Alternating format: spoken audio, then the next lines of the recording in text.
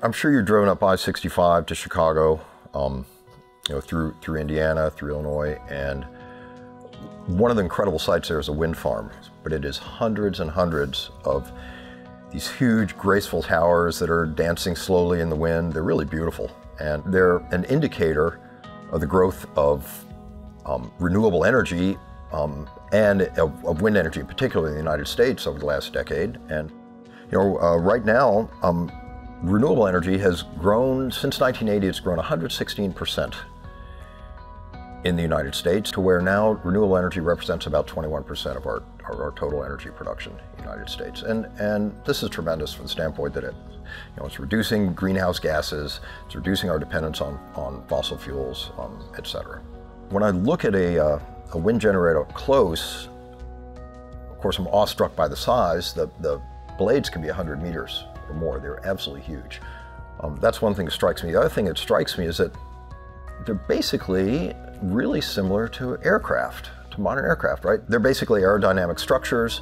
They have to have very high strength to weight ratios, just like aircraft do. And they're made using very similar materials to what the most advanced aircraft are made out of, which are um, fiber reinforced composite materials. And so we see thousands of huge um, wind generators built similar to composite aircraft, and yet we see very few, if any, composite aircraft out there. Uh, and there's a good reason for that.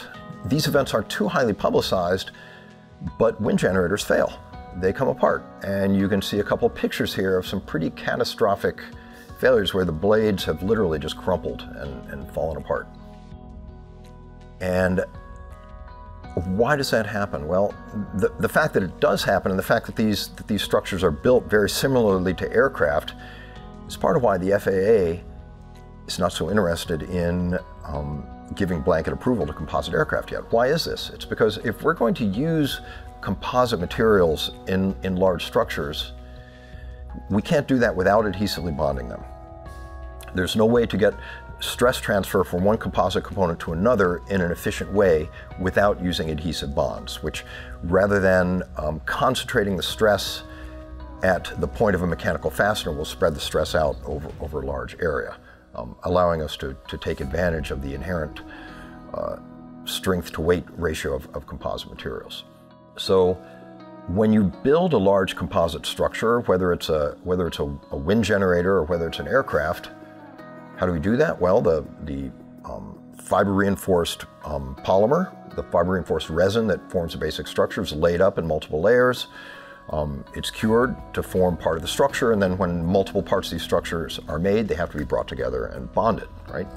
Okay, notice this picture that shows a cross section of a wind turbine blade. It's the, uh, the picture with the red skin, and you can see the stringers inside of it. There are two stringers. These are adhesively bonded in. The wing skins are bonded to the stringers. The leading edge and the trailing edge of this structure are also adhesively bonded. All of these bond surfaces are prepared manually.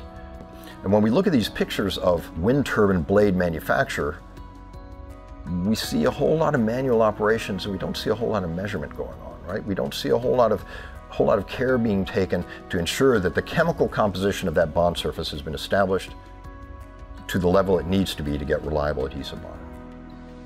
Well, several analyses of the causes of failure in um, wind turbines points to failure of adhesive bonding.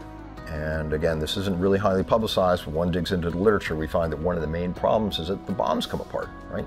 This is because using current manufacturing methodologies, bond process control generally consists of following a series of prescribed steps for preparing, cleaning, applying adhesive, bringing the structure together, right?